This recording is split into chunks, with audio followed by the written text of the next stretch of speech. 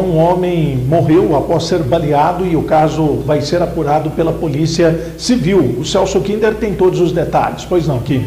Vamos a ele, Samuel Sintra, aqui no nosso JR-23. Um homem de 31 anos foi morto com um tiro de arma de fogo na cabeça. Na noite dessa quarta-feira, na rua Padre César Gardini, no bairro Santa Luzia, em Pedregulho. A polícia militar foi acionada para atender uma ocorrência de disparo de arma de fogo com um ferido em Pedregulho.